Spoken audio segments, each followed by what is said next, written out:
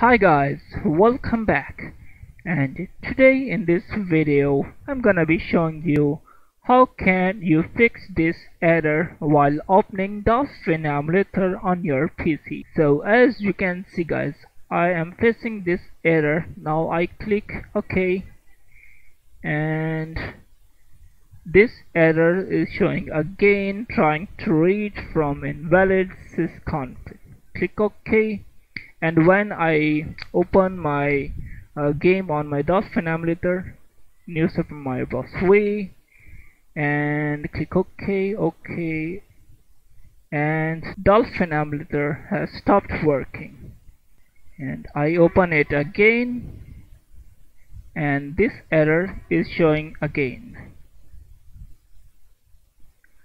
so guys if you are facing this issue so you don't worry guys it's it's very easy and simple to fix this error.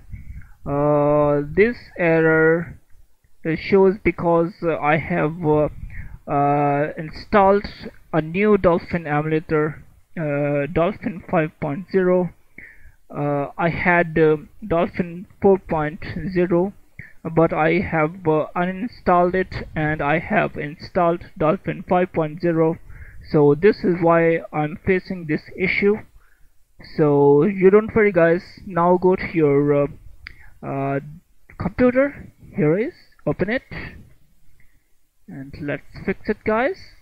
Go to your uh, documents and go to Dolphin emulator folder. Open it and open Wii folder and open system folder sys uh, sorry go back open this one folder shared 2 open it and open system folder and you have to delete it okay? But I don't delete it. I cut and paste here. So this is a new uh, sysconf file. Now I open Dolphin emulator open and the error has been fixed guys. You can play any game on your Dolphin emulator without any error but when I use this uh, file again like this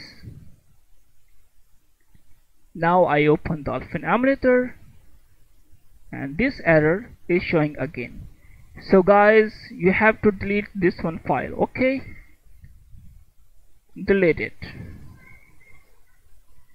Now it's done. Now enjoy your games on your Dolphin emulator. Thanks for watching guys